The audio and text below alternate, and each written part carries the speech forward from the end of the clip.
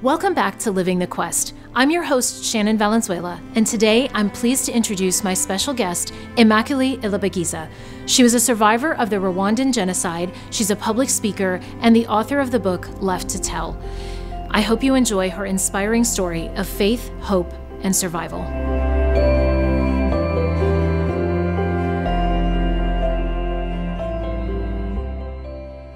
It's so lovely to be here today with Immaculée Ilibagiza, and I, I, just can't wait to talk to you about living our purpose with courage, which is what um, our, our series, The Quest, is kind of all about. And maybe we could start with the first lesson uh, when you were talking in the retreat last night that you, you said you had learned from your time mm-hmm. um, in hiding was love. Mm-hmm. And that's, that's really the message that, that we uh, feel so strongly is, is part of living our purpose with courage. And I wonder if you could maybe speak a little bit about that. How is love so important for courage in, yeah. in this life?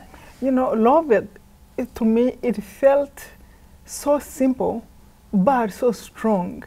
So when I, and it, it takes courage in a very disguised way to really actually stand up for love in times when there is, you know, not much love being shown and also to live with love in times when there's peace so that we're not looking for something extraordinary, just like to really act every day with love.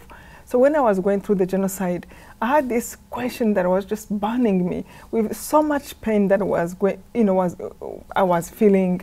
So many terrible things were happening. People were being murdered, tortured, really for, for what God created them to be. And I remember thinking, like, what went wrong that this can happen? And I just almost wanted to have an answer. You just can't tell me that, oh, it's because of different tribes. These wars have happened in different countries, genocides. People have hated each other for different reasons, for their heights, for their religion, differences, for their color of the hair, or tribes, race. And there have been so many reasons people hate each other, each other but there's always the result of hate is hurting each other is messing up peace. There's no peace. So whatever reason, the result of hate is the same, destruction. Mm -hmm. No peace, just like a turmoil. So I wanted to know, then what is at the basis of that hatred? Because it's not about tribes. There are many people who understand each other with different tribes. What is it?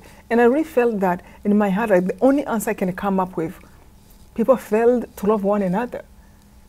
And when people fail to love one another, there is hatred between people, the family break down, you know, uh, friends break down, you construct schools break down, a genocide break, you know, come up, like what was happening in our country. Then I remember asking myself, then, what is my part? Because I realized that I can only really change who I am. I can only change myself. I can only make decisions that concerns me. What is my part then? And I felt like as if God was speaking in my heart just make decision to love whatever decision, whatever place you are, whatever moment you're going through, including the time when I was in that bathroom. This time I was with seven other women in a bathroom of three by four feet. For somebody to go even to the toilet, you have to move. You can refuse and do it angrily, or you can really bend just to give them space. You can look away, or you can try to embarrass them by looking at them. So even that time, every moment I still have to choose love. With the plate the man was bringing us to eat, there's a little food for eight people on one plate. Either I can grab quickly so I can feed myself, or I can think about others too. So I felt that it's not something so far away, but it is something so simple that we must practice every day. I have to choose. So it takes courage and humility in some ways to love when maybe there is a other attraction. Mm -hmm. because you realize that the answer is love but you can't change other people. You have only can yeah. change you. So i'm going to decide. And then i thought you know suppose everyone will make that decision to be loving people wherever they are a president the decision they're making to lead a country a mayor a governor a mother a father wow the world will be a perfect place you know, with such a simple thing that doesn't cost any money, just takes courage. And you realize that sometimes it's easy to show love, but other times it really takes actually courage. it means that you are risking for people not to like you if you are not of their same mind, mm-hmm. you know, to speak what you believe to be truth, and yet other people maybe don't, don't approve.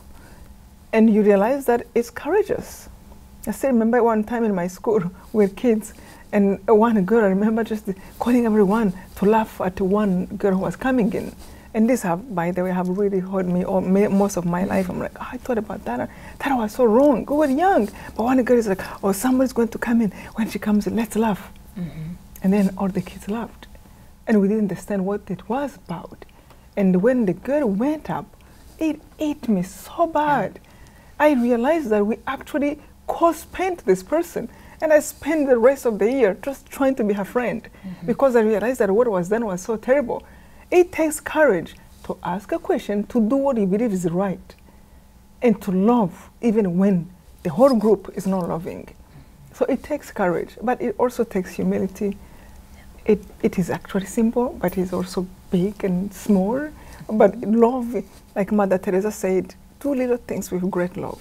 That's mm-hmm. all. Yeah, that's so beautiful, and I, I think it's it's wonderful. You say that it is it is both the most simple thing and the most necessary thing, yes. right? And so and, it's, yeah. And when love is lacking and a genocide happened, that's when you really realize the importance mm-hmm. of love. Yeah. Because we have just banalized that word so much, you know. We love everything, mm-hmm. you know, in ways, even when we don't really care much, you know, things and love of people and everything, really.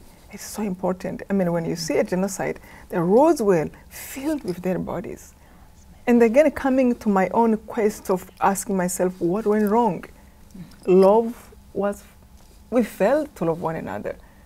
We lacked love. That's why that happened.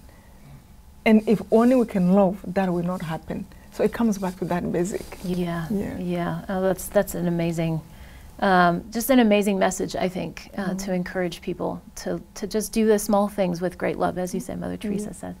Um, and I wonder if maybe we can we can go from there to talking a little bit about God who is love, right? And so your your beautiful story yesterday about how you know once you had sort of made the uh, come to believe, you know, that God exists from from the, the miraculous when they left the door alone and, and that moment. Um, but then you said that you were you were trying to learn who God is then by reading the scriptures and reading the stories of who who God is. And so I wonder if if maybe you could just speak a little bit about how important it is not just that we that we believe God exists, but that we actually come into a relationship with God and we start to know who He is um, yeah. and and to love Him in that way. It's true. You know, God has a personality. God is who He is, and to, to love God, when you realize that He's love, He's one who runs the world, and I want I wanted to follow Him because I feel like anything He have said, I have read, I have thought about, I, I see in the Bible is the right thing. And if we have, in the first place, followed Him, a genocide will not happen divisions and the hatred between people will not happen. So I remember just deciding first for God. I am deciding to follow God and I'm going to seek Him. And I remember telling him, Well, I will seek you until maybe you prove me wrong. Because so far, there's nothing I've seen that you said to believe, to believe and to behave like that is bad. So I'm going to believe you. I just want to know now what should I believe and who you are. So when you you believe in God, when you choose Him, you really you say, I, I decide to follow you. Because mm, again maybe somebody introduced you to him told you about him and you decided him your heart is still open to continue to learn about who he is. He has a personality. I have seen people who hate who don't like god because they said their father wasn't good. Mm. so for the in their perspective they compare their biological father with god.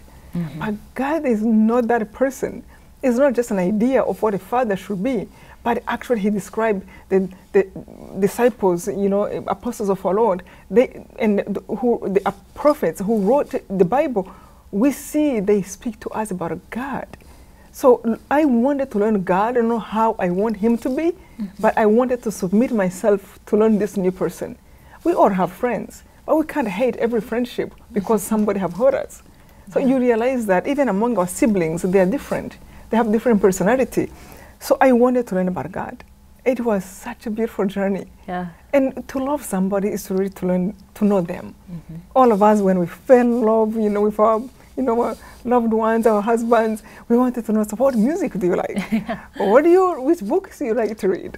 So, what do you do with your free time? So, what are your parents are the names? How many children, you know, your siblings you have? Because you, when you love somebody, you you have to try to know who they are. Mm-hmm. So, and when you fall in love with God, when you fall in love with God, you want to know who He is. Even when you try to fall in love with Him, when you realize that he, how important He is, then you find out who He is. So, learning Him, it really made me fall in love with Him. Mm-hmm. I realized how much love He has and how much power He has. You know, what comes to mind just now, even now, which I thought about all this during the genocide, that the story of Jonah, mm. you know, who how the tenacity of God is like he chose somebody. And even when the person is being possible he's like no you're going to go there. I'm going to take you. And what I, what I loved in that story of Jonah was in, in the belly of the fish and the fish threw him out. And he doesn't want to save the, the people in the Nineveh. I don't remember how you say it exactly. Nineveh. Yeah, yeah. Nineveh yeah. And he doesn't want to save them. He have a message that can help them but what I love is that at the end, God was like, you know, when He destroyed the tree mm-hmm. with a little ant, uh, this little thing, an animal. How do you call it? Not an insect. It was an insect. It was a little thing that ate the animal, ate the tree that was giving him a shade. You know, yeah. Jonah. Yeah. And then he dies, and he's mad, and he wants to die because of that. Yeah. And then God is like, can I, you, you, you, you have compassion on this tree you didn't even plant. Yeah. Why did you destroy that tree? and you don't want me to have compassion on my people? You know, no matter how much mm-hmm. bad things they have done, you know, I'm asking you to go. He's actually asking, like, can't you see that I needed to have that compassion towards my people? He doesn't need our permission. he didn't need Jonah's permission to save people, but he still know his anger, how maybe he was hurt, he didn't like them, whatever reason he's really good. And they still want to work with him. You know, you, you see Moses, he couldn't talk, which I, by the way, I love Moses because when he said, like, look, I stutter. I can't, I don't even talk well. How can I be the one who is going to lead you people out? Mm-hmm. And when I think about myself, I'm like, I'm from Rwanda. When I was writing the book Left to Tell, I'm like, who will read it? How can I speak to people? I don't mm. even know mm. English. How am I going to speak? And you realize that day by day, he's just like, just go. Say what is in your heart, what you have learned in your poor English, broken English, but I want you to go and share. And what he did to Moses, he didn't say like, no, let me choose, you're right, let me choose somebody mm-hmm. who speaks better. He's like, I will give you a helper. You just go. You know? So again, when I say this, not to feel in any way, in a special way, in any way in my life, which we are all special, mm-hmm. but all of us were called for a certain mission. And if we really think about it, we are inadequate. We are human beings who fall, who hurt God in our sin, with our sins. And uh, what do we know? You think you know one thing, then you realize you don't know so much. Mm-hmm. So, learning the personality of God when He saved Daniel in the den of lions. And I'm like, oh, you can do that? you know? yeah. So, I wanted to learn Him. Uh, when I learned about John, Job, the suffering he went through. And I'm like, I'm trying to find out where Job is going to say, you know, enough is enough. I'm done with God. But he actually kept loving him. And then to see also God who is seeing him, his all the pain, but he still love him. Mm-hmm. What is he going to do in his life? And actually, after he restored his life and give him so much more. But that also showed me suffering is not a sign that God hates you. Mm-hmm. You know, actually, it's a part that you need to call upon Him. Ask Him for explanation, not ex- to explain Himself, but ask Him, What am I going to do? Mm-hmm. How can this be? Where are you? It's okay to cry to Him, but don't reject Him. Mm-hmm. So that what I was learning in the bathroom. I'm like, no, I still look at how He have dealt with other people. So I am learning this God, and that was so good. Then to send His His Son, His to send Jesus again, take it from the Bible. That won't mm-hmm. happen in this truth. If you believe in Him, then you better believe everything, you yeah. know. And then He sent His Son to die for us, to carry the cross. He have done no sin, and He had to go through that. I mean, and to watch Mother Mary, yes. also to be beside her, her son and up to the cross. So who, why should I think that I should not go through any suffering. Mm-hmm. So all the things like that, that what was was changing my mind, knowing God, because I can't create my own God. And I can't invent my own way of living, you know. Yeah. And actually, I realized whenever I submitted to God's ways, learning who He is, His personality, everything made sense. Yeah, all the time I, until after the genocide. There's one time somebody told me uh, I was really in pain, and I went to see this priest who was also a psychologist. So I thought, you know, I thought psychologists are just going to heal you and take away all the pain, and all of a sudden you are all good. so he heard me, my story, that tell me what will happen exactly. I told him everything. I'm crying. I'm crying because now I know somebody understand. You mm-hmm. know, he has skills. I'm crying to him. And after I finished, he was like, you know, you are actually not broken. You are good. I'm like, what? Don't you see? Uh, what do you mean? I'm not, I'm okay, I'm good. And so don't you see, like, no, you are not as broken as many kids here who have gone through so much as you went through. Mm. And then he said, however, you are suffering from the lack of affection of your family. Hmm. And that can hurt you as much as anything else. And he said, but in God's infinite love, he knows how to give back that. I'm like, what do you mean? You can get that back love, that love back of your family, that affection. How? He said, well, this is what you do. Go to orphanage, orphanages. Find the kids who need, who have no parents. Love them. Be that parent. Love them as if they were yours. But hug them without like, oh no, you are too dirty. Mm-hmm. Go clean them, hug them, clean them whenever they are dirty. Feed them, you know, buy them clothes that you wish like your mom would buy for you. Like, give them the best of your mm-hmm. affection, but also material, whatever you bring them. So I found my home to Mother Teresa Orphanage. Oh, And I will go there just to see how I will feel after. Yeah, because he said yeah. he'll feel my heart. Yeah. And I will go to them. And he told me, go to the sick people, especially mostly to those who have no one who bring them food, Yeah. who have no one to visit. Concentrate on them more. Bring them the food you wish your mom, your dad to give them, mm-hmm. to give the, to give you. So you give it to them. When you buy them clothes, buy them the nice one. When you, you go to take care of the homeless, so give them the best. Don't give them the, the last one you didn't yeah. need. But give them the best. I'm like, okay. So I remember I started to go to the orphanage of Mother Teresa. So these kids, I really gave myself as if like I would wish my mom to love me that way or my dad. I will sit down, one will sit here, and another one will go to my shoulder.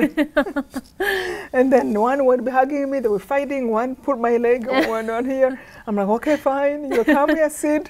And I would just like hug them. You know, whenever I saw their nose were not clean, I cleaned them. The same way my mom would clean me. Yeah. You know, their hair, let's take a soap, you know, let's Yeah. wash them.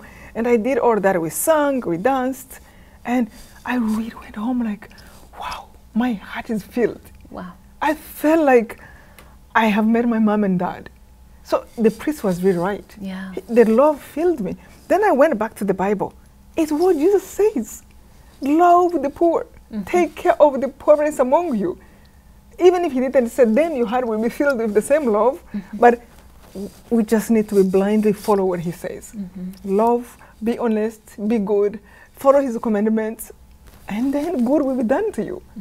Don't even ask yourself how is it going to be done, because we, we like to, to Yeah, have we the like- whole yeah, like to know, things, yeah. yeah. to know the Yeah, all yeah. control. Then when I do that, and then we do use spread the good news of God. God will take care of you. I really have seen it. Yeah. Yeah. Oh, that's that's such a beautiful story, and the idea that you can, you can actually um, find love by giving love By is an amazing. It, it almost feels like it shouldn't be true that way, because, But- but but it is right. But It it is, is. true. Um, And most of that, you only experience them by experience. It doesn't make sense. Mm-hmm. Yes, You mean. I'm going to take away my time just to go Yeah. to dance with the kids at orphanage? yeah.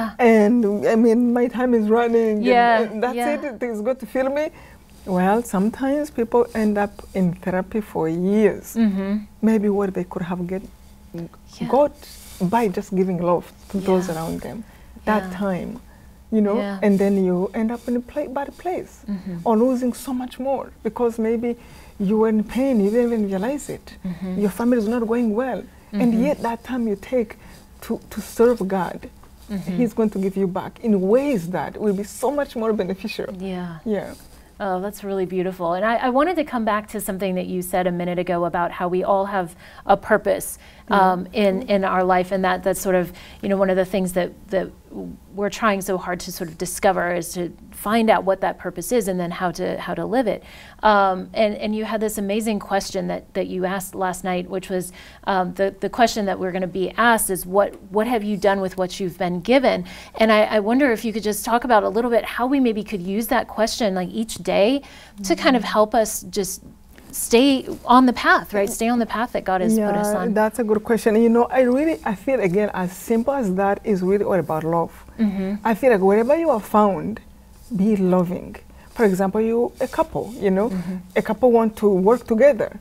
In loving one another, you need to understand each other and not just like I don't care what you feel. Mm-hmm. You know, mm-hmm. that's not love when you don't care. So when that alone, making plans in ways that you're respectful to the person, you have a family together. Mm-hmm. And then when you make those plans, go and then execute, but in love. So whatever you do, the decisions you make, you know, you are a teacher in a school that have a director. You know, there is law we have to follow. Let me follow them to make easier also the work of that person, mm-hmm. you know, who is entrusted this school. And then just like in a simple way, even where we wake up in our home, sometimes we have a day off and we are just home. You know, how can I serve those I am with? So I think like it's not even necessary to focus on so much on what is the plan, mm-hmm. than just like every day you wake up and you do as it is given to you. Mm-hmm. You serve with energy. You serve with your voice. There are people who have no voice. Mm-hmm. They are mute. They can't speak. But those people, they can look at somebody and smile. Yeah. So there's a lot we can still do you know, sometimes I don't have this, another person have. But whatever you have, if only we can focus on what we have and today, mm -hmm. because we don't know what is tomorrow. We don't know where we're going to wake up tomorrow.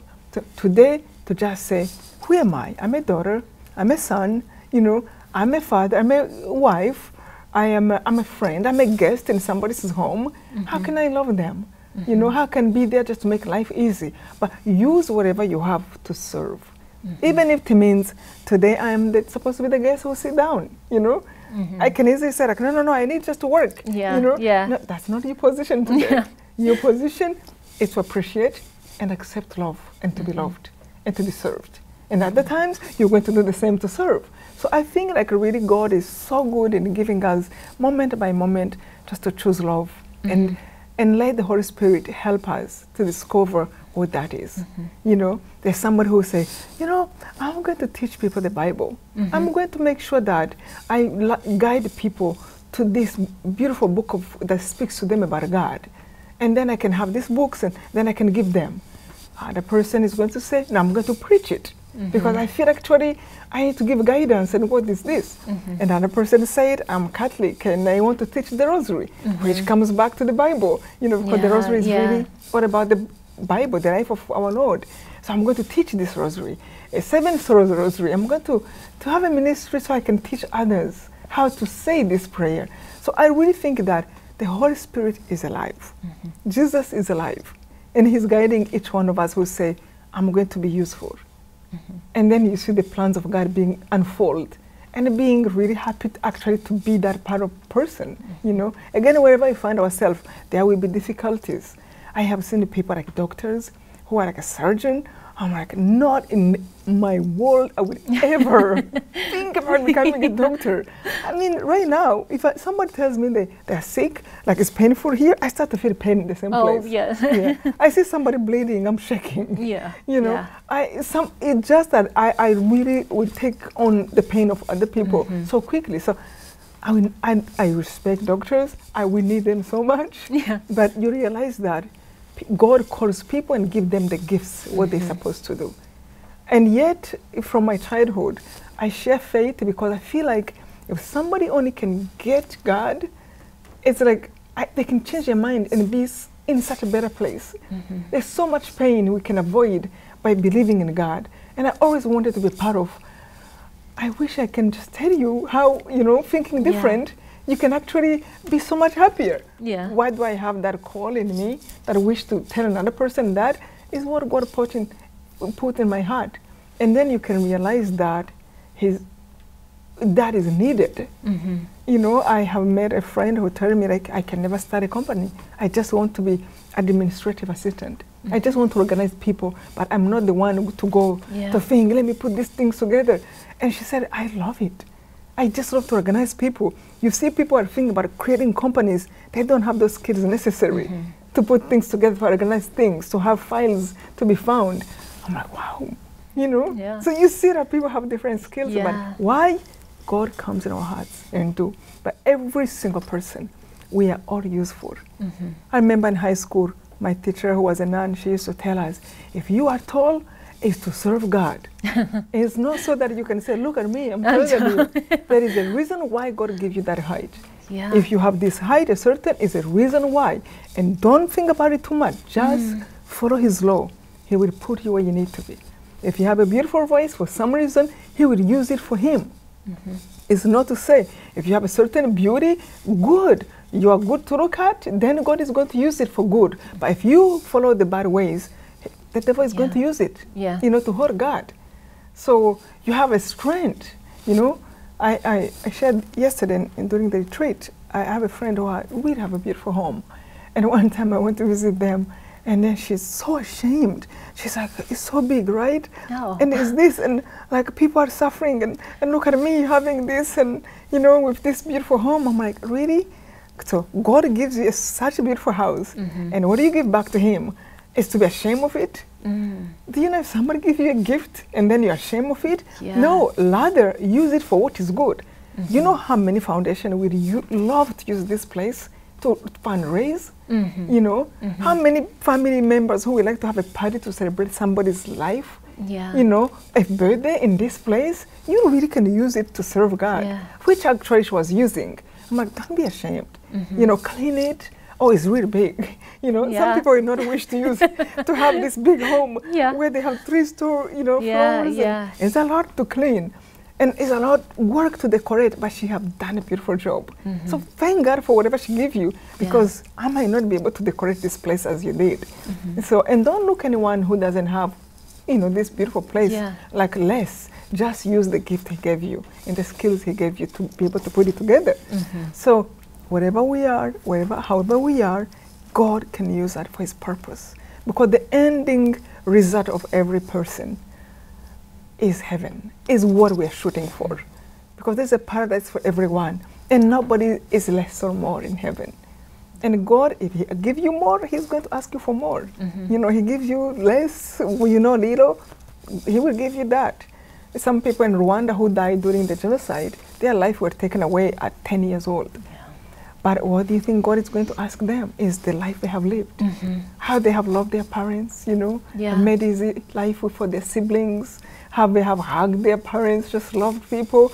That's what they were given. Oh, That's amazing, and and I, I love that, and maybe we can kind of end on on a on this question because you you said something last night that really struck me, which was that it's very hard.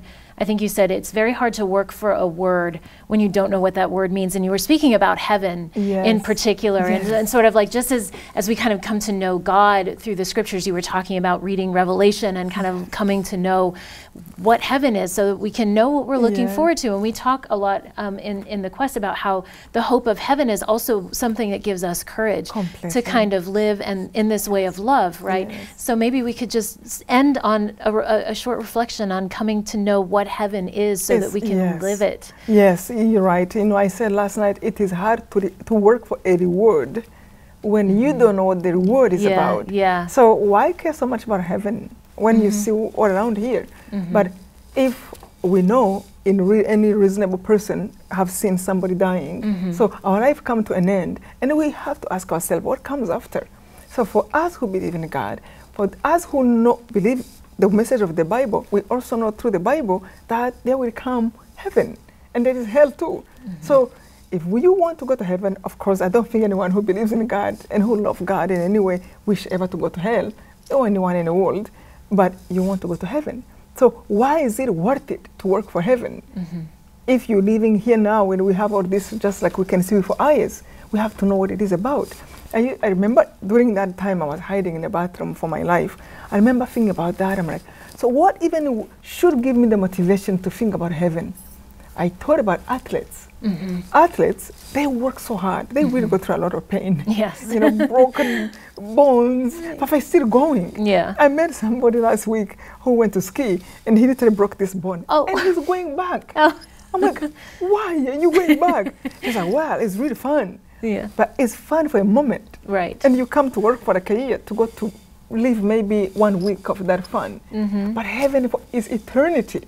So what is it that athletes, for example, when they want to win an award, they will work so hard for like how many years just so that they can win that? And the pain, mm-hmm. the, the body pain, I mean, loneliness. Sometimes you wish to go have fun with your friends, but you know, mm-hmm. you're going to train so that because there is this and that later. Why is it that they go through that pain? Because they know what it is that is coming. Mm-hmm. They should, they might get that award. Oh, it's so good. Wow, Academy Award. Wow, or that medal. I'm going to work for it. 10 years, I will train my body, this and that. And then they give it to you, then what? yeah, It's done. Just because people say it, wow, amazing, amazing. Yeah. Or whatever money they give you that, and maybe you spend it, but you work so hard with pain. Mm-hmm. Why is it then, as Christians, if I'm in pain, I lose my hope, I lo- I'm Mm-hmm. angry, I, I stop working for my heaven, it's because I don't know what it is about. So if maybe I can look in heaven to see what is written about it, that can be my motivation. And then that actually that's what happened. I started to read in, in Revelation, I'm like, the roads in heaven are diamond and gold. There's no more pain. There is no more evil. There's no more anger. No one hates you. Everyone love each other. No more, you know, dishonesty, betrayal, and it's peaceful and joy forever and ever. No more sickness. No more getting older. Mm-hmm. You know, no more I'm hungry. I'm like, what? You know, it looks beautiful and it feels beautiful. Yeah. Okay, how long? Maybe it's short. That's why maybe we don't put much attention. No, no, it's really long. I literally remember taking a pen and I say, let me draw what is heaven looks like, how long it is in that beauty. I go like this, it doesn't end. Eternity is forever and ever, billions and zillions of years. And then I'm like, okay, let me compare to 100 years. Yeah. This becomes like a little dot on a map compared to eternity. Mm-hmm. This becomes like a, a blink in a lifetime compared to eternity. So why is it that I care so much about this if I know what heaven is about and how big and how long it is?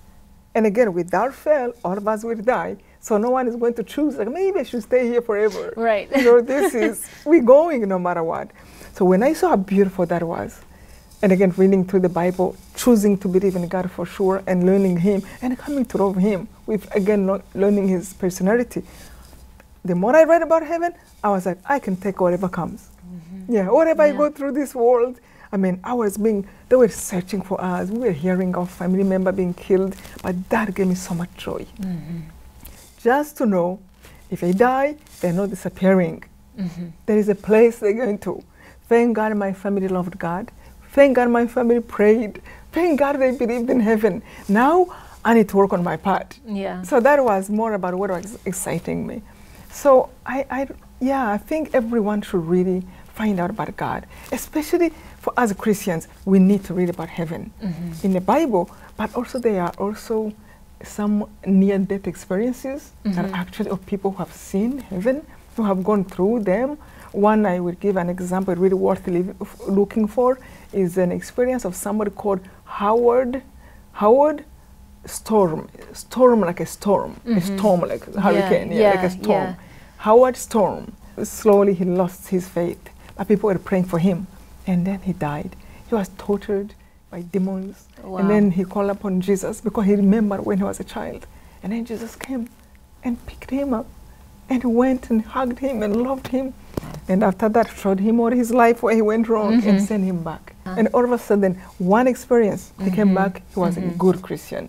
So when you learn about heaven, oh, he tells me, I live here because I don't have a choice. Otherwise, I would wish to go back and see him because it's so beautiful.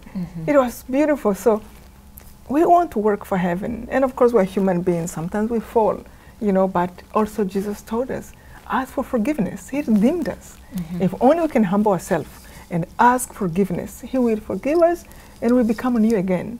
How good that is. Yeah. So I just want to encourage everybody, please look at heaven. Because if you really know what it is, if you get to know Jesus, His love, you can't help but love him mm-hmm. and want to work for that place. That's beautiful. And that I, I, I can't think of a, a, better way to end than on that. So thank you so very much for your Thank time you. and for sharing your, your beautiful reflections on the life of faith with us. Thank, Thank you. you.